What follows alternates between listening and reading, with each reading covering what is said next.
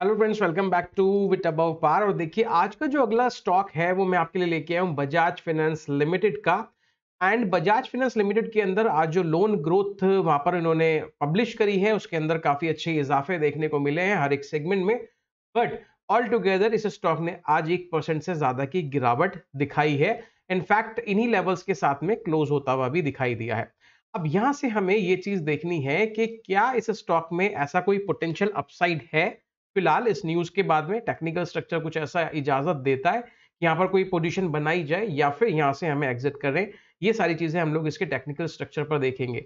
Still अभी हमारे पास में जो 52 वीक हाई है, वो वही इंटैक्ट है जो प्रीवियस वीडियो में मैंने आपको बताए थे 8050 के। 52 वीक लो भी वही है 5220 37 परसेंट की डिलीवरी परसेंटेज है स्ट्रॉन्ग डिलीवरी परसेंटेज यहाँ से आपको दिखाई दे रही है। Now coming on to the charts यहाँ पर देखिए सिचुएशंस क्या नज़र आ रही है। देखिए, इस इस स्टॉक के अंदर ये एरिया बहुत इंपॉर्टेंस रखता है। जिस एरिया पर आकर ये एक्चुअली में कंसोलिडेट होता हुआ दिखाई दे रहा है, एक अच्छे खासे अप ट्रेंड के बाद में। अच्छा खासा अप ट्रेंड भी कैसे है? देखिए 5200 के लेवल्स हैं यहाँ पर अगर आप देखें। 5200 के लेवल से ये स्टॉक अब जाकर अगर रेजिस्टेंस फेस कर रहा है तो तकरीबन 5600 के आसपास के लेवल्स है। तो एक अच्छा खासा रनअप इस स्टॉक ने दिखा दिया है। नाउ अगर यहाँ पर कंसोलिडेट हो रहा है मतलब क्या है?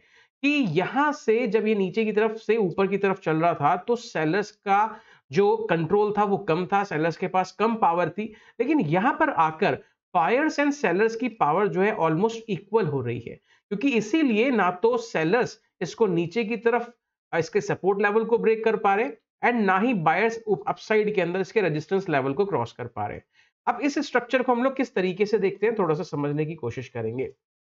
देखिए जब इस स्टॉक में एक डाउन ट्रेंड आया था, यानी कि एक डिक्लाइनिंग फ़ेज़ था, उसके बाद में इस पर्टिकुलर एरिया में आप देखिए इनफैक्ट इस पर्टिकुलर एरिया में आप देखिए, और यहाँ तक के एरिया पर अगर आप नज़र डालेंगे तो वॉल्यूम कंसिडरेबली हाई रहे हैं, ठीक है?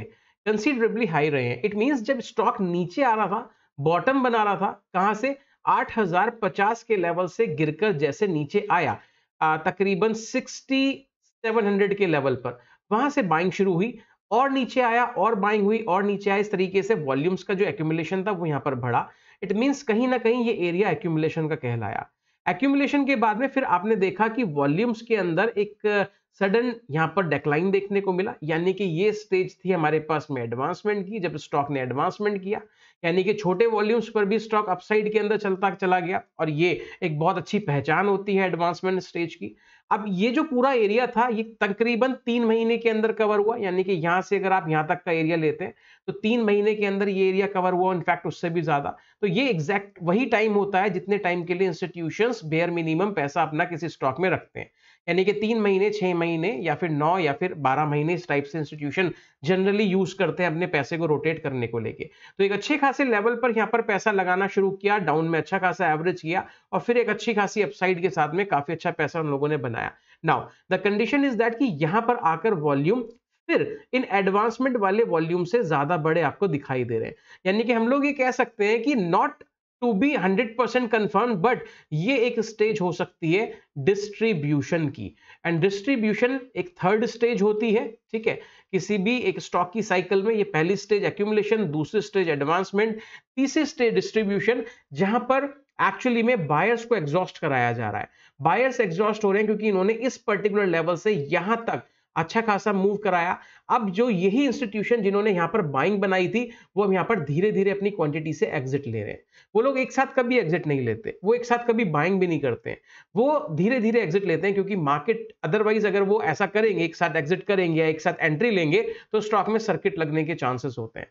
तो वो इसलिए धीरे धीरे टाइम के साथ में एंट्री और एग्जिट उनको बनाना होता है क्योंकि मल्टीपल करोड़ का वहाँ पर जो डीलिंग होती है। तो माइट भी अगर ये डिस्ट्रीब्यूशन स्टेज है तो फिर इसके बाद में ये सपोर्ट लेवल ब्रेक होते ही एक अच्छा खासा फॉल आपको देखने को मिल जाएगा। तो इसलिए ये चीज़ हमें याद रखनी है कि स्टॉक के अंदर डाउनसाइड बहुत ज़्यादा है। ये रिस्की स्टॉक है इन लेवल्स पर।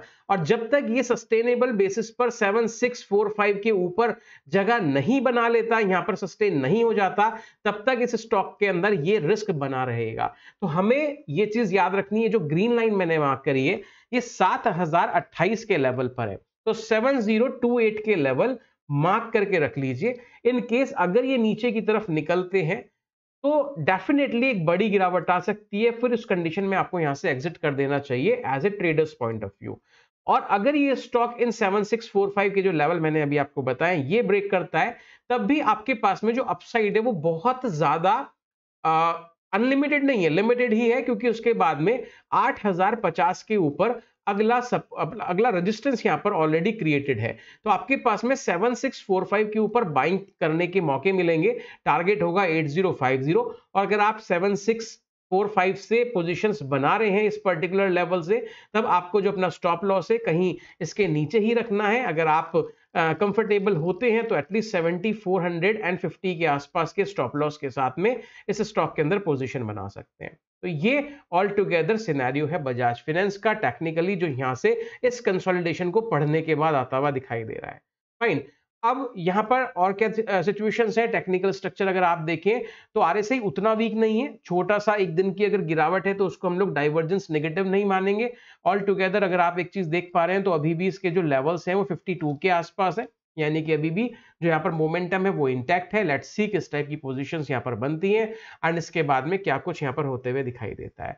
तो ये ऑल टुगेदर बजाज फिनेंस का स्ट्रक्चर आपके सामने, जो यहाँ पर एक अच्छी खासी बाइंग अपॉर्चुनिटी भी दिखा रहा है, लेकिन इसके अंदर अपसाइड लिमिटेड है एंड डाउन साइड के अंदर रिस्क ज़्यादा है, इसलिए आपको स्टॉप लॉस इंटैक्ट रख के चलना चाहिए।